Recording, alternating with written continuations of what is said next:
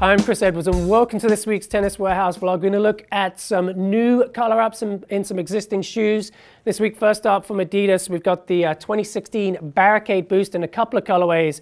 Right here, I have that white red, and then I really like this blue with the hit of pink on the three stripes. Of course, we've reviewed this shoe. I'm a huge fan of this shoe out there on the court. It's got that boost cushioning, which is really comfortable. Quick look at the medial side on both of these, and then the outsole.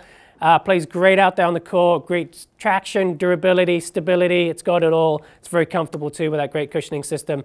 Uh, huge fan of that one, so be sure to check our website for more details and also check out our reviews if you really want to go in depth on how that one performs out there on the court. Next up from New Balance, we've got a 996 V2, and this is Milos Raonic's shoe of choice, and this is really makes a statement out there on the court. Love the colorway right there on this one. Quick look at the one-piece outsole on this shoe, so you're going to get great traction out there on the hard courts. This one puts you nice and low to the ground so you can really move around very speedily.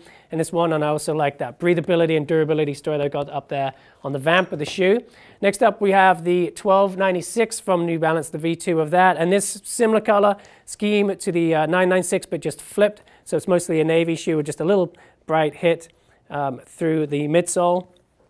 Quick look at the heel on the medial side of the shoe. And again, we've got that one piece outsole on that one right there as well. And then last but certainly not least, a new color of the Vapor 9.5 Tour. And this one's in a very Federer inspired Swiss kind of colorway right here with the red and white. Uh, just a really nice, clean, classic looking shoe. And a two-piece outsole on this one, so you can see the shank there. Great shoe, reviewed really well. Ton of information. It's been around for a while, the 9.5 Tour from uh, the Vapor series, and uh, just a, a great offering right there out there on the court. That's all I got for this week. Thank you so much for watching.